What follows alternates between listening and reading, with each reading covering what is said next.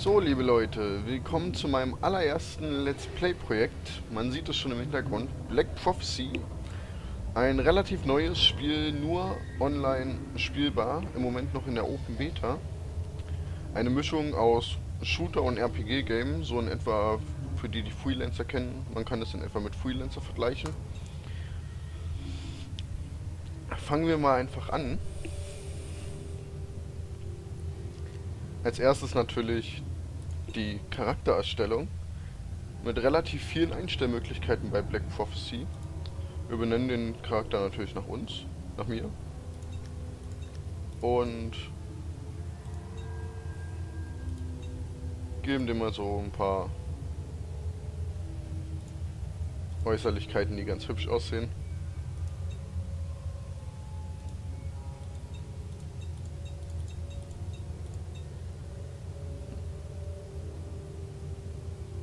Frisur ist doch toll. Naja. Ja, das passt.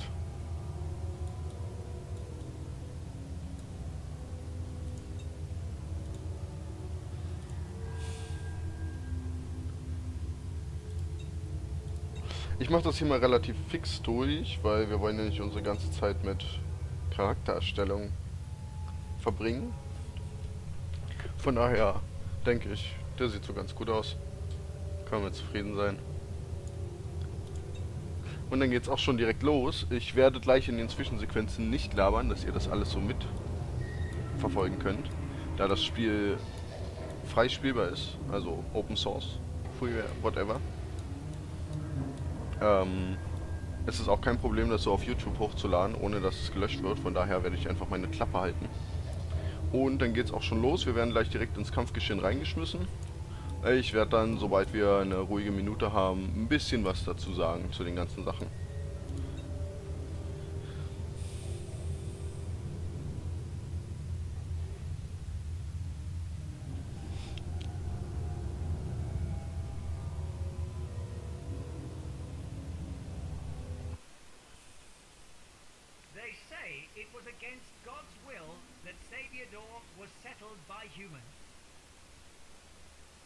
Some claim that we would have had an easier time settling the universe had we done it in peaceful coexistence with our creators.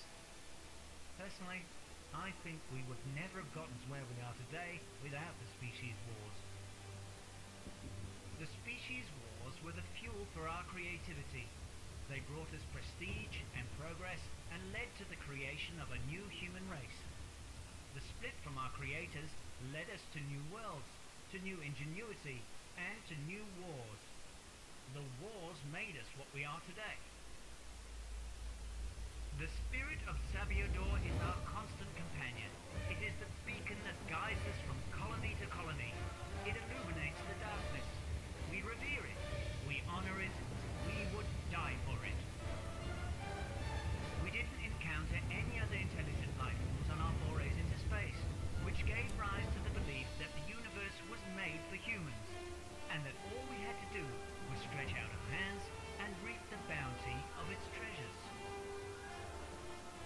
Finding Trianon was like finding the lost paradise again. Conditions on the surface of the planet were absolutely perfect. Almost too perfect, some found. But Trianon was not the first planet we've settled. It's the 14th. So we went about its settlement with a set routine. The only thing standing in our way, as it usually happens, was us. Times have changed since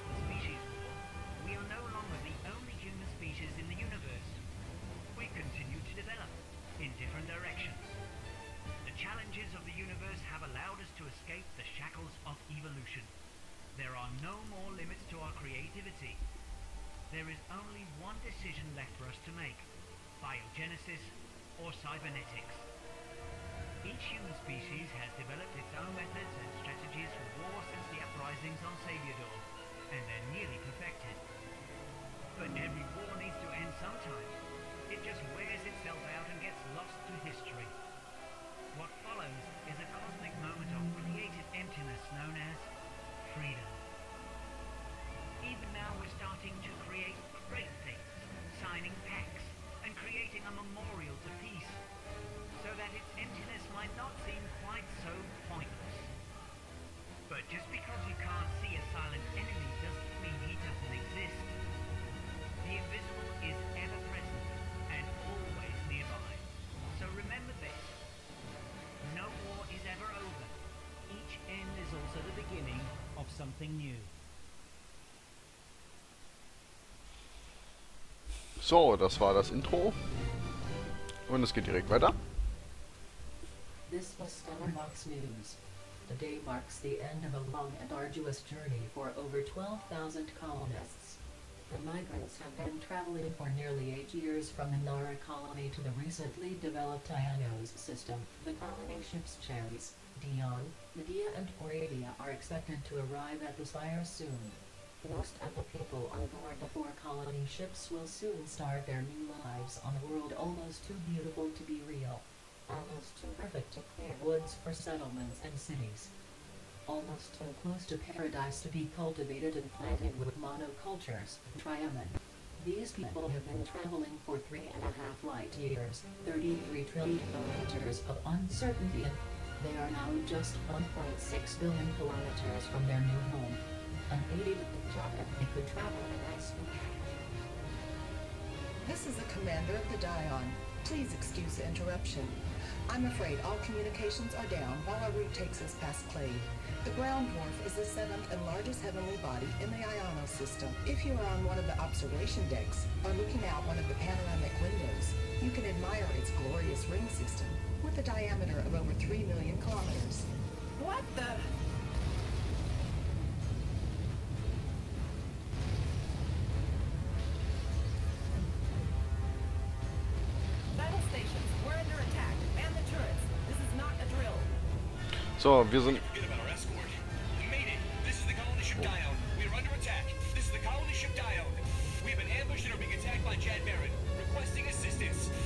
This is pointless.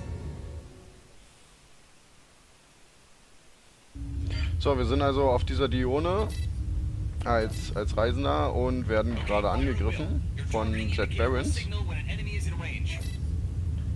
und müssen jetzt hier die Dion verteidigen gegen, gegen die Angreifer. So, nebenbei poppen immer noch Tutorials auf, ähm, die werde ich gekonnt wegklicken, weil ich in etwa weiß, wie die Steuerung funktioniert. Daher ist das kein Problem. Die sind eigentlich nur zur Hilfe, um sich hier zurechtzufinden.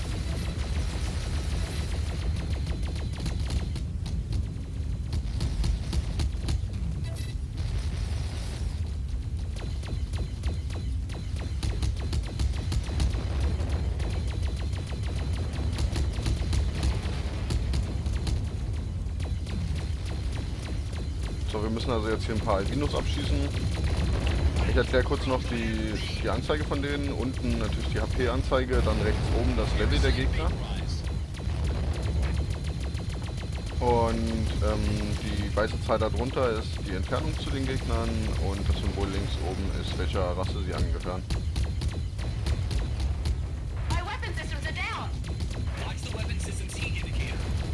So, ich glaube, hier kann man gar nicht sterben. Das, dauert halt seine Zeit, bis die Dinge abgeschaltet werden.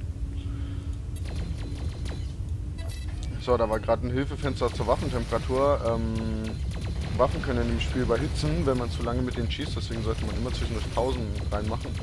Beziehungsweise die Waffen, die wir jetzt haben, äh, das dauert Ewigkeiten, bis die überhitzen. Von daher ist es eigentlich kein Problem, da dauerhaft durchzuschießen. Es gibt Waffen, die sind dann so stark, die überhitzen nach drei Schuss. Äh, da muss man dann halt gezielt schießen und nicht die ganze Zeit einfach draufhalten.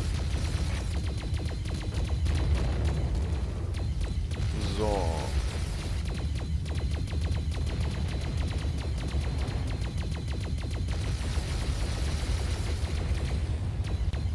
Und der nächste Albino. Jetzt haben wir ja mittlerweile hier schon 10 Stück oder so gekillt. Das müsste auch bald vorbei sein.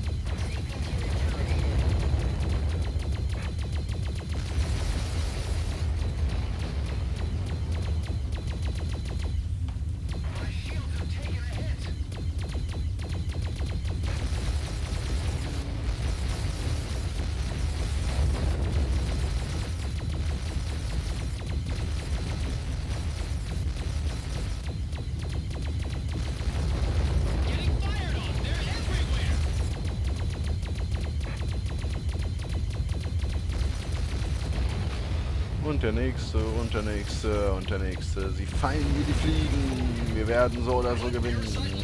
Warum sterben sie einen schrecklichen Tod?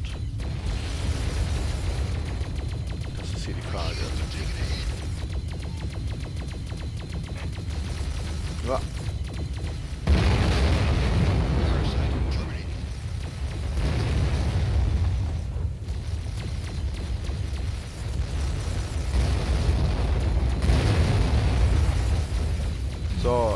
Kurz nochmal zu der Rasse. Ähm, die Gegner sind ja Jet Barons. Jet Barons sind auch eine Rasse in diesem Spiel, der man aber nicht angehören kann. Das sind, die sind sozusagen immer feindlich, egal für welche Rasse man sich später entscheidet in dem Spiel. Wir sind jetzt am Anfang äh, ein Sapiens. Dann gibt es noch die Genites und die T. Später entscheidet man sich für eine der Rassen, Genite oder T. Das ist ungefähr wie in WoW, Horde oder Allianz. Und Jet Barons sind halt immer feindlich, immer feindlich, egal für was, immer feindlich.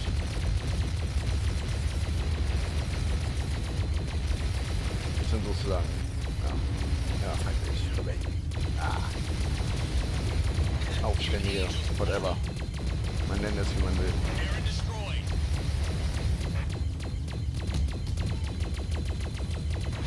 So, das dauert jetzt doch schon eine ganz schöne Ecke. Also ich hoffe mal, dass das jetzt direkt gleich vorbei.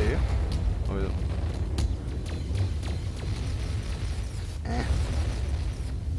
Das mit dem Drehen wir nochmal.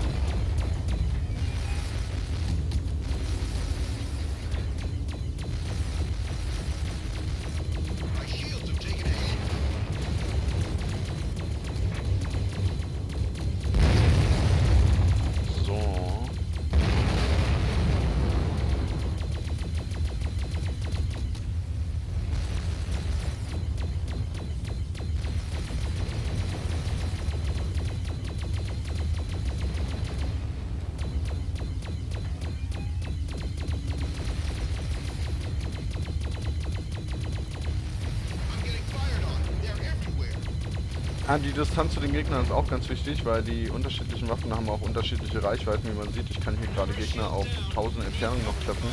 Es gibt Waffen, äh, womit man eine Reichweite nur von 200 hat, wo der Gegner relativ nah dran sein muss. Äh, und es gibt halt Waffen, die eine Monsterreichweite von bis zu 2000 haben. Das sind dann sogenannte Sniper Guns. Mit denen hier geht's auch ganz gut. In diesen Türmen. Die haben auch eine relativ hohe Reichweite.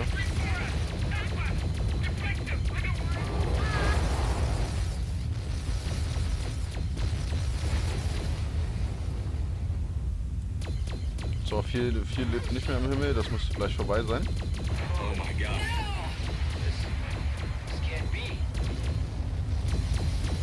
Wenn da nicht immer neue dazu kommen würden.